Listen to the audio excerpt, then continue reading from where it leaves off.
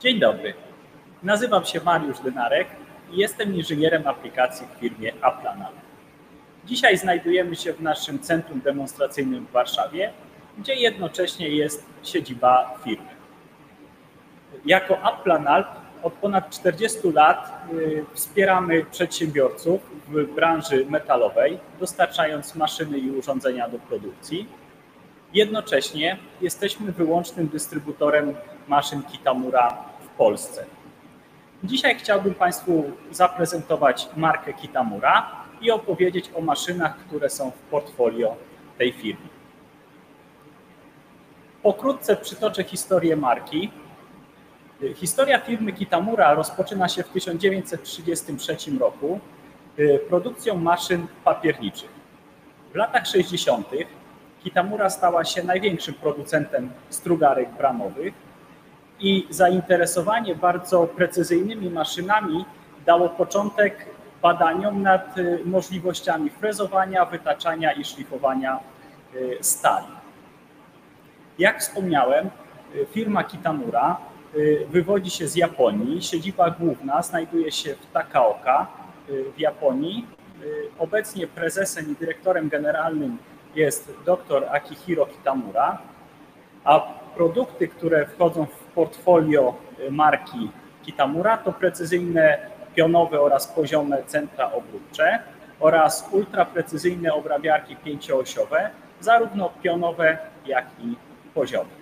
Po prawo widzimy siedzibę główną e, w Japonii.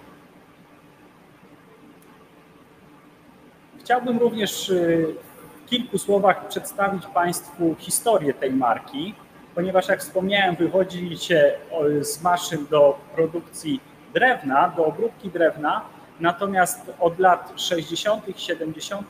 bardzo mocno e, rozpoczęła firma Kitamura rozpoczęła Y, działania w kierunku produkcji obrabiarek do metalu. W latach 70.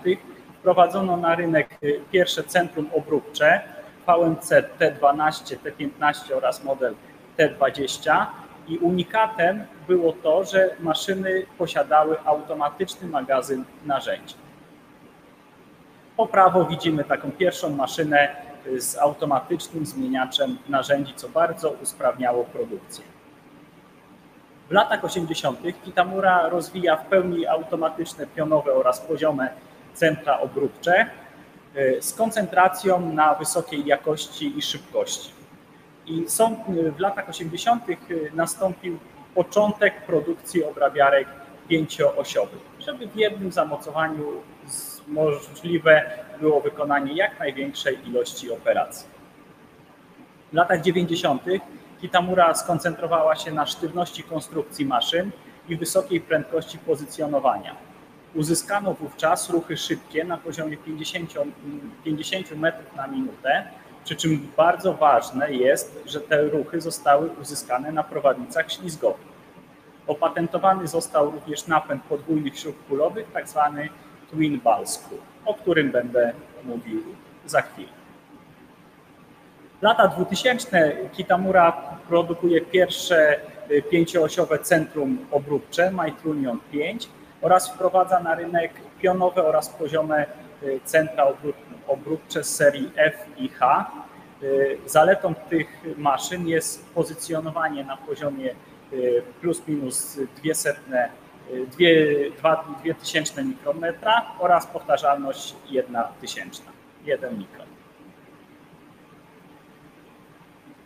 Na przedstawionym slajdzie y, widzicie Państwo lokalizacje na świecie, gdzie są centra Kitamury. Jak wspomniałem wcześniej, siedziba główna znajduje się w Japonii, natomiast mamy jeszcze dwa oddziały Kitamury, jeden w Stanach Zjednoczonych, y, y, Wheeling w stanie Illinois oraz w Düsseldorfie w Niemczech. I z tych lokalizacji jest prowadzone wsparcie wsparcie zarówno serwisowe, jak i technologiczne.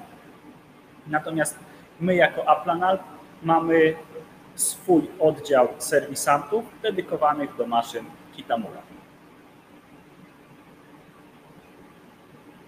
Chciałbym również Państwu przedstawić maszyny, które wchodzą w portfolio producenta Kitamura.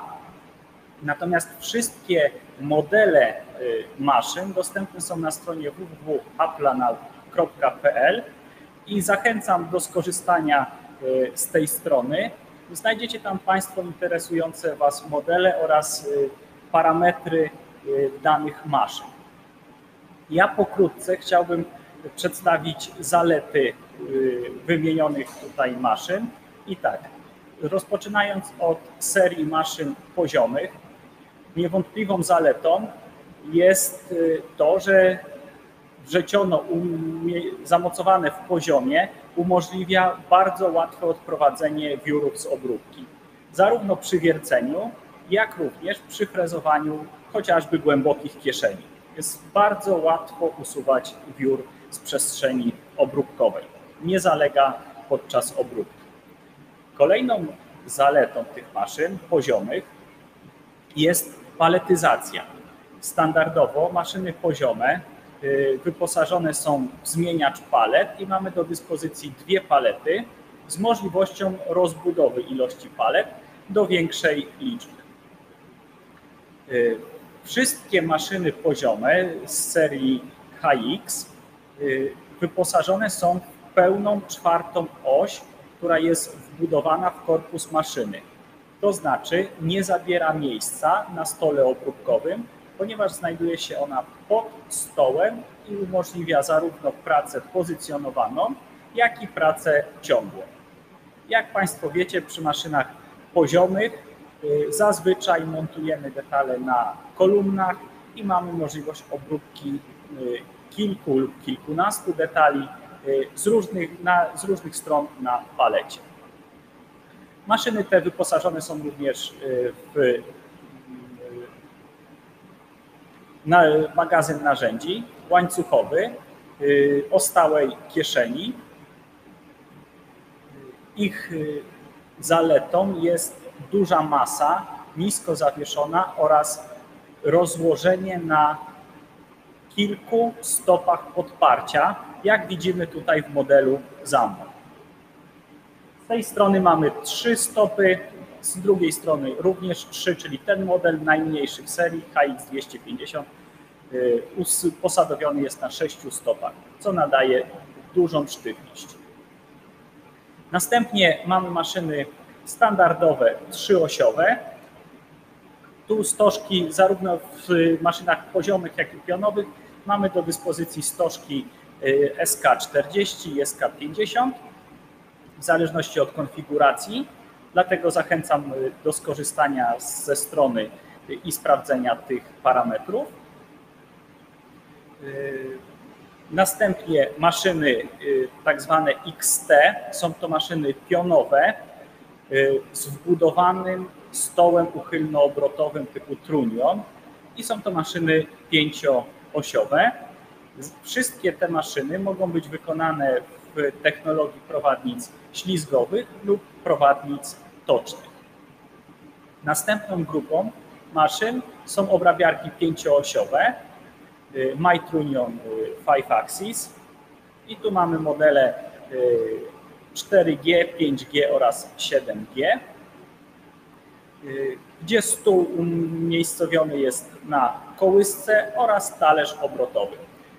Czyli pięć osi realizowane jest przez obrót kołyski, obrót stołu, natomiast wrzeciono jeździ w trzech osiach X, Y oraz Z. Nie występuje tutaj skrętna głowica. I ostatnią grupą maszyn są ciężkie maszyny bramowe, również na stożku 40 lub 50, wyposażone w prowadnice ślizgowe lub toczne, w zależności od modelu.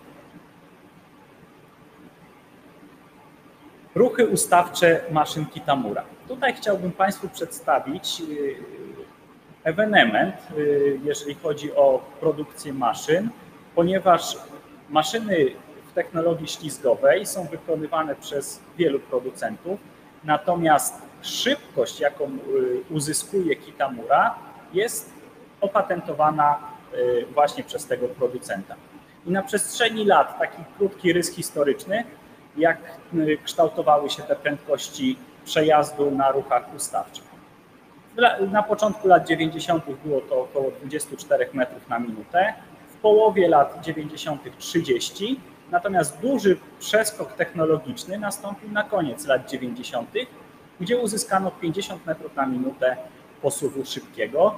Cały czas podkreślam, że to jest na prowadnicach ślizgowych. I w latach 2000 Kitamura y, rekordowo na świecie wprowadziła ruchy dobiegowe maszyny na prowadnicach ślizgowych na poziomie 60 metrów na minutę. Jak już wspomniałem o technologii y, Twin Ballscrew, było, była możliwość uzyskania tych y, parametrów, czyli 60 metrów na minutę, właśnie dzięki zastosowaniu podwójnych śrub kulowych. Technologia Twin Ball Screw wykorzystuje bardzo dokładne śruby kulowe o małym skoku oraz podwójne silniki w osiach liniowych.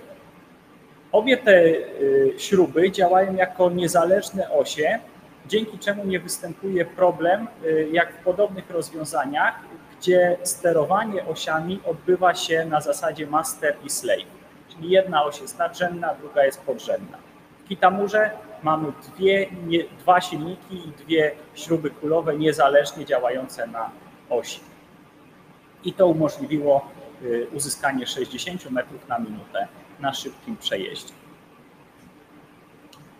Dokładność pozycjonowania, o której wspomniałem wcześniej, y, jest możliwa dzięki zastosowaniu właśnie śrub kulowych o małym skoku oraz encoderze o rozdzielczości 67 milionów y, pulsów na obrót. Jak zobaczycie Państwo, producenci maszyn y, zazwyczaj y, zakładają do maszyn encodery o rozdzielczości miliona lub 16 milionów na pulsów na obrót, co przy między 16 milionów a 67 milionów jest około 4 razy bardziej dokładne. W myśl zasady większa rozdzielczość, mniejszy skok, lepsza powierzchnia obrabianego y, przedmiotu. Jednocześnie wpływa to na bardziej płynne ruchy maszyny. Rozwiązania konstrukcyjne, które stosuje Kitamura, wszystkie powierzchnie elementów konstrukcyjnych maszyny są ręcznie skrobane czy wykańczane w celu osiągnięcia idealnego styku powierzchni, e, czyli dokładna powierzchnia przylegania. Tutaj na zdjęciu zaprezentowałem Państwu wykonanie powierzchni przylegania w technologii Kisage, czyli wyrównania czy doskrobania powierzchni, e, żeby zapewnić jak najlepszy styk powierzchni składanych ze sobą, współpracujących. Maszyny Kitamura budowane są w koncepcji True Geometric Accuracy, czyli prawdziwa dokładność geometryczna wynikająca z dokładnej konstrukcji maszyny i wykończenia powierzchni y, bez wprowadzania kompensacji. Właśnie Kitamura nie stosuje kompensacji elektronicznych w celu ustawienia geometrii maszyny. Prostopadłość między osiami wynika z budowy maszyny, a nie, nie z kompensacji. Co również przekłada się na sztywność y, całego układu. Masa maszyny jest y, zazwyczaj większa niż u innych producentów, dzięki czemu następuje lepsza absorpcja wibracji.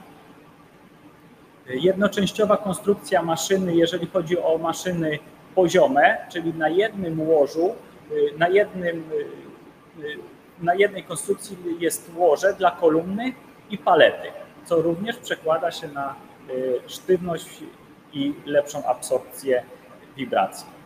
Dodatkowo, tak jak wspomniałem wcześniej, nisko umieszczony środek ciężkości w stosunku do y, podłoża powoduje, że tworzy się mniejsze ramię w momencie przejazdu kolumny, chociażby w osi y, X jest mniejsza odległość od posadzki do punktu ciężkości, więc mniejsze ramię, mniejszy moment. Kitamura wyposażona jest w sterownik Aromatic MI, Jest to sterownik dedykowany do maszyn y, Kitamura i wyprodukowany przez firmę Kitamura. Jest to 19-calowy y, dotykowy ekran. Y, o dużej mocy obliczeniowej czytanie bloków przód jest na poziomie 1860 bloków, natomiast przeliczanie bloków 2800 bloków na sekundę. Duży ekran zapewnia operatorowi podgląd parametrów obróbki, wygodny podgląd. Programowanie jest kompatybilne ze sterowaniem Fanuka i tutaj chwilę poświęcę na wytłumaczenie y, skąd ta nazwa i dlaczego sterownik Aromatic. Jak zwrócicie Państwo uwagę, Aromatic, jeżeli zaczniemy czytać od prawej strony, jest to nazwa Kitamura i ten sterownik pojawił się w momencie, y, gdy firma Kitamura y, przeszła ze sterowania Fanuc, bo wszystkie poprzednie maszyny były w sterowaniu Fanuka, przeszła na napędy Mitsubishi. Żeby zapewnić klientom komfort pracy na nowych maszynach, wprowadzono sterownik Aromatic, który jest kompatybilny ze, ze sterowaniem Fanuka, tak samo jak kody z G-kod y, z maszyn Kitamura y, produkowanych na Fanuku jest kompatybilny y, z kodem, który generuje teraz sterownik Aromatic MI. Dodatkowo mamy, możemy mieć pomoc wideo na ekranie sterownika, zarówno przez wyświetlanie informacji związanych ze sposobem chociażby zamontowania detalu, czy długością narzędzia, jakie musimy obsadzić, jak również możemy mieć pomoc zdalną, na przykład z technologiem czy z serwisantem. Niewątpliwą zaletą i również patentem Kitamury jest sterowanie adaptacyjne. Funkcja Kitamura Monitor polega na tym, że w czasie rzeczywistym śledzi obciążenie narzędzia i dostosowuje posuw w celu utrzymania stałego obciążenia na wrzecionie. Ta opcja jest stosowana do obróbki zgrubnej. Jak wiemy, podczas skrawania, w czasie kiedy zmienia się kąt opasania narzędzia, zmienia się również obciążenie na wrzecionie. Rośnie lub maleje. I funkcja Adaptive Control zapewnia stałe obciążenie wrzeciona, dzięki czemu zwiększa się trwałość narzędzia. I tutaj po, na przykładzie y, frezowania w narożu gdy zmienia się kąt opasania, on wzrasta, wówczas maszyna zwalnia posuw, natomiast na zewnątrz w promieniach, gdy na przykład y, zmniejsza się naddatek, maszyna przyspiesza.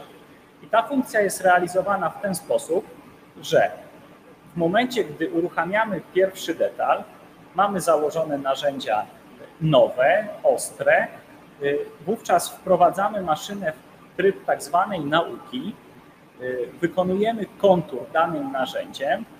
Maszyna zapamiętuje maksymalne i minimalne obciążenie, jakie było w czasie y, obróbki po zadanym konturze. Następnie wyznacza sobie średnią i od tego momentu przechodzimy już w tryb y, Kitamura Monitor, śledzenia obciążenia. Maszyna będzie dostosowywała obciążenie do średniego y, obciążenia, które zarejestrowała, lub my podnieśliśmy, bo mamy możliwość zmiany tego obciążenia. Y, w momencie, gdy ma duże obciążenie wrzeciono, będzie zwalniało, czyli automatycznie redukuje posuw, pomimo posuwu zadanego w programie, jak również, gdy będzie miała maszyna troszeczkę lżej, będzie przyspieszała, natomiast przyspieszenie y, posuwu jest możliwe również w zakresie przez nas regulowanym. Nie możemy puścić maszyny, y, żeby, nie wiem, przyspieszyła pięciokrotnie, ponieważ zmieni się obciążenie na ząb i narzędzie może tego nie wytrzymać. Więc bardzo przydatna funkcja, jeżeli chodzi o obróbkę zgrubną i zapewniająca dłuższy żywot narzędzia. Ostatnią rzeczą, y, o której chciałbym Państwu opowiedzieć, jest stosowana i opatentowana w 1998 roku funkcja monitorowania temperatury maszyny. Obejmuje ona szereg strategicznie umieszczonych czujników i urządzeń monitorujących temperaturę maszyny. Jest to wysokowydajny system, który umożliwia wzrost wymiarów elementu wynikający z akumulacji ciepła powstającego w czasie obróbki, jak i pracy maszyny na poziomie nie przekraczającym plus minus 5 mikronów. I zobaczcie Państwo, na grafice po prawej stronie na niebiesko zaznaczony jest rozrzut punktów zmierzonych w czasie, gdy funkcja jest aktywna oraz rozrzut punktów w czasie, gdy funkcja jest nieaktywna. Wiąże się to z tym, że na przykład w czasie przestoju maszyny, gdy maszyna nieco ostygnie, musi skompensować sobie daną wartość wydłużenia w osi. Na koniec chciałbym Państwu zaprezentować, że firma Applanal oprócz dystrybuowania maszyn wspiera również klientów w całym spektrum działań potrzebnych w czasie produkcji przez aplikacje CAD-CAM, Podziwa, serwis, jak również organizujemy szkolenia. Mamy całą sieć placówek w Polsce, do których można się udać, umówić z inżynierem aplikacji, skorzystać z porady. Dostarczamy również części, narzędzia skrawające i pomagamy zrealizować inwestycje. Ja ze swojej strony bardzo dziękuję za tą część taką teoretyczną. Zapraszam Państwa teraz do zadawania pytań. Dodam, że tutaj w siedzibie w Warszawie mamy w obecnej chwili dwie maszyny Kitamura. Jedna jest to maszyna HX250, czyli najmniejsza z maszyn poziomych oraz HX500, taka średnia maszyna z tej serii. Jeżeli macie Państwo ochotę zobaczyć te maszyny, sprawdzić je w działaniu, zapraszamy do naszego centrum, można się umówić na spotkanie.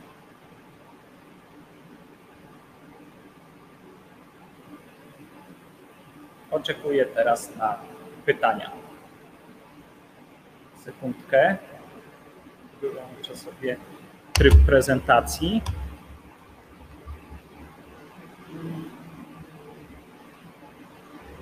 No, teraz już widzę.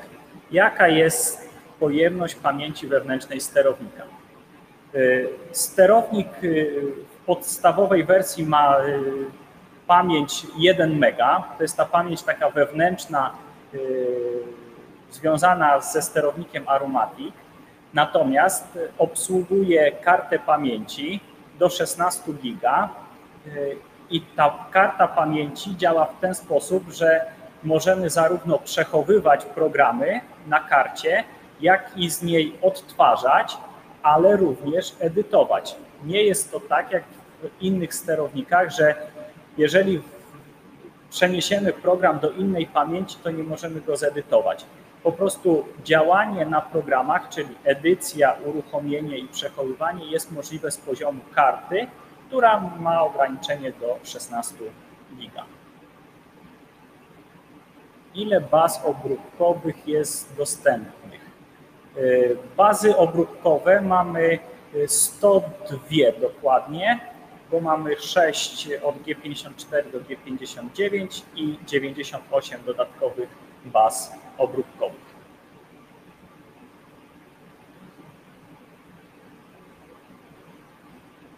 Czemu zrezygnowano z Fanuka? Ponieważ Mitsubishi w standardzie daje więcej możliwości, opcji, których nie musimy wykupować, chociażby restart programu. Tak? To też jest ważna funkcja, dla której wszedł sterownik Mitsubishi, natomiast z Fanuka zrezygnowano. Dodatkowo Mitsubishi jest szybsze w przeliczaniu bloków, jeżeli chodzi o maszyny pięcioosiowe.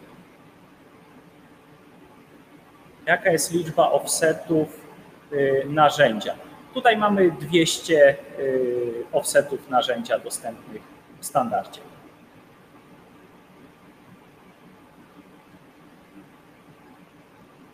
Jak rozwiązany jest magazyn narzędzi? Y, magazyny narzędzi jest to łańcuch o stałej kieszeni z taką funkcją przechodnią, to znaczy, że gdy jedno narzędzie jest pobrane do wymiany, czyli czeka po stronie magazynu, kolejny kubek na narzędzie, które w danej chwili znajduje się w magazynie, podjeżdża pod wymianę i następuje zamiana narzędzi. I tutaj możemy mieć magazyny rozbudowane, począwszy od 60 pozycji do bodajże 212 w takim układzie matrix, czyli dwa magazyny między sobą zamieniające narzędzia.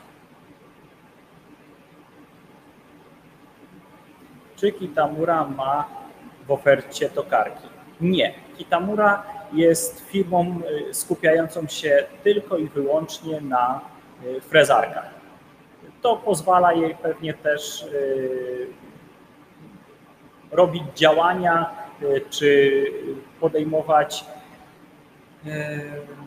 próby związane z poprawą, z poprawą jakby doskonaleniem swoich urządzeń. Jakie maksymalne ciśnienie może być podawane przez wrzeciono? Maksymalne przygotowane wrzecione jest podciśnienie 70 barów. Oczywiście odbywa się to z zewnętrznej pompy chłodziwa. Standardowo mamy 15 barów. Czy sterownik posiada symulację graficzną obróbki? Tak, symulacja obróbki jest dostępna. Jest to symulacja w płaszczyźnie lub w układzie kartezjańskim, takim rzucie izometrycznym. Natomiast w obecnej chwili nie ma usuwania materiału z elementów. Po prostu grafika 3D, natomiast wykreślana linią.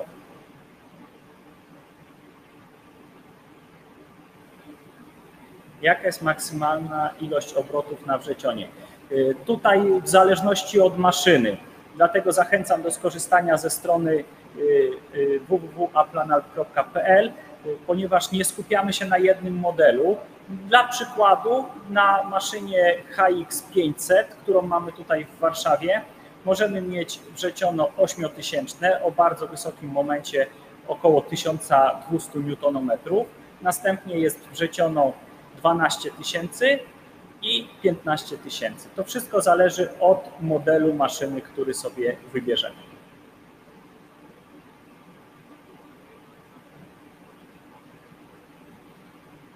Czy jeszcze jakieś pytania? Widzę, że dziękujemy. W przypadku, gdybyście Państwo nie zdążyli zadać pytania, zostanie wysłany kontakt do mnie po zakończonym webinarze. Bardzo zachęcam do skorzystania z tej formy komunikacji. Chętnie odpowiem na Państwa pytania. Jesteśmy do, do Państwa dyspozycji. Bardzo dziękuję za poświęcony czas i zapraszam na kolejne webinary. Dziękuję bardzo.